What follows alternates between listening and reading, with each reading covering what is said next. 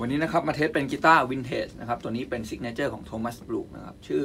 โมเดลเป็น Summer of Love นะครับก็คือ จะทำสี paint คล้ายกีตาร์ของ Jimi Hendrix Monterey นะครับคือเขาเอาตัวนี้ไปเล่นเป็นเหมือนว่างาน tribute อะไรด้วยนะครับ ก็สำหรับเพลงของสไตล์เฮนดิกนะครับก็มาดูสเปคพื้นฐานเป็นทรง Stratocaster 21 fret นะครับ body ทำจากไม้ alder นะครับแล้วก็คอเป็นเมเปิล fingerboard rosewood radius ค่อนข้างโค้งนะประมาณ 7.5 7.25 แบบสไตล์ Fender vintage นะครับ fret ก็เป็นประมาณ medium jumbo งานประกอบถือว่าเรียบร้อยมาก แล้วก็ทำ relic เก่าๆ สวยงามดีนะครับฮาร์ดแวร์ต่างๆ ได้มาตรฐานเป็นของ Wilkinson นะครับ ชุดปิกอัพก็เหมือนกัน จุดพิเศษก็คือจะมีเขาเรียกว่า dummy coil นะครับ อยู่ที่ด้านใต้คล้ายๆว่าเป็นเหมือนว่าปิกอัพซ่อนอยู่อีกตัวหนึ่งเพื่อ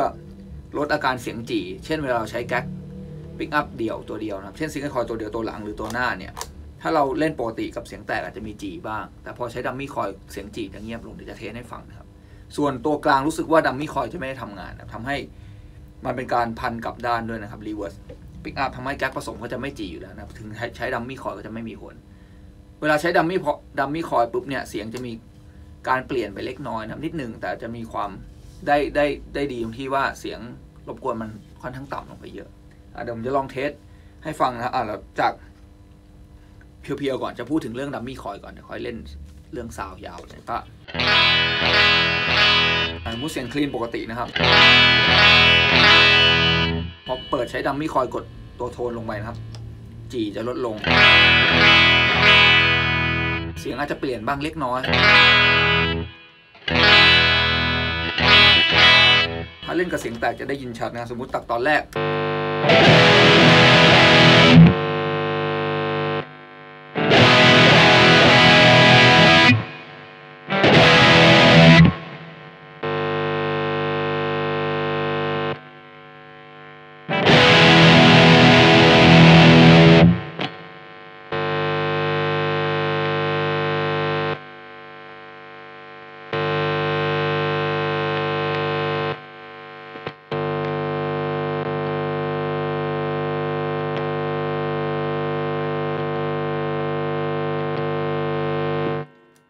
ก็รู้สึกว่าปิกอัพตัวกลางจะ dummy coil ไม่มีผลนะครับ นี่คือพื้นฐานของมันเดี๋ยวจะ test ก่อนนะครับ โดย